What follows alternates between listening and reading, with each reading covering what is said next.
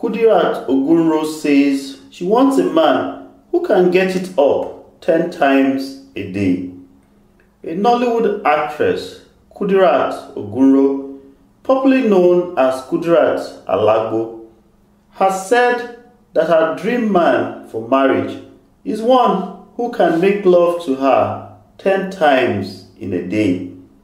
The Nollywood actress cum producer who stated this in an exclusive interview with The Sun, has over 150 movies to her credit. Asked how best she enjoys herself when she wants to relax, Ogunro said, Honestly, I don't want to sound nasty.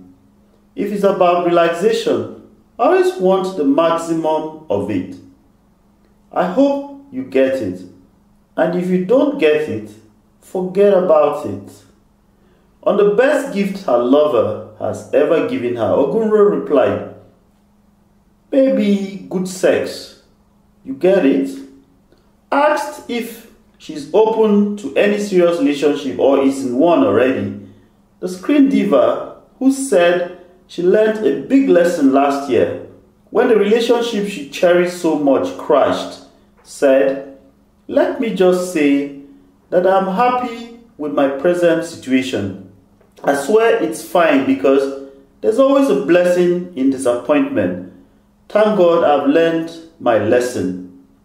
And on what she would look out for in the man she wants to spend the rest of her life with, Ogunro said, I love respectful, God fearing men. Most importantly, I love when a man is able to satisfy me in bed at least 10 times in a day.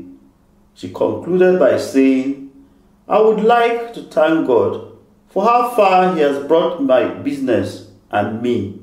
Sincerely, I never knew my brand could grow this fast. If you enjoyed this, please like, share, and subscribe so you can get notifications.